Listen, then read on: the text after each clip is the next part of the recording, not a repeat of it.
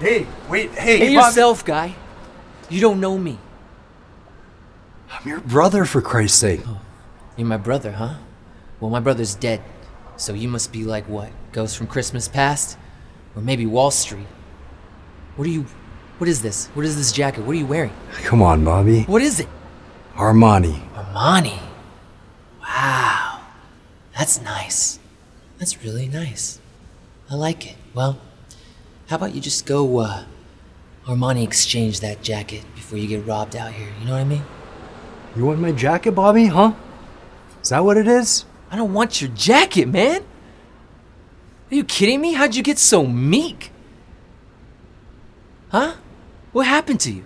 What is this? I got sober. You got sober. Wow. That's nice, man.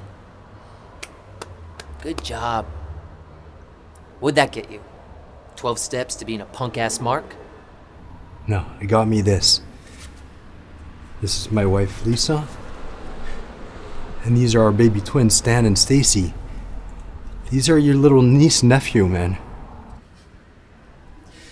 I don't have a niece and I don't have a nephew because I don't have a brother.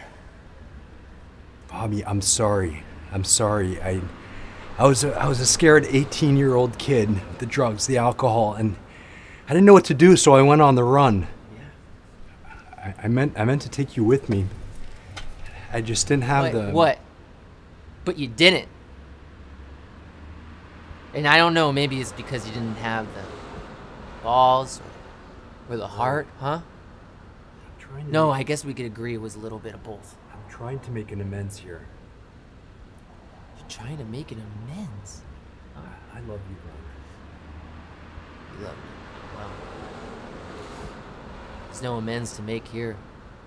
Alright? I did my time in hell. You left me there. Alright? So why don't you go back to your little piece of heaven with your wife and your kids and all that prettiness? Okay? And don't come looking for me again. Because next time you might be offering more than just your jacket. You hear me? Stay dead, ghost. Stephen.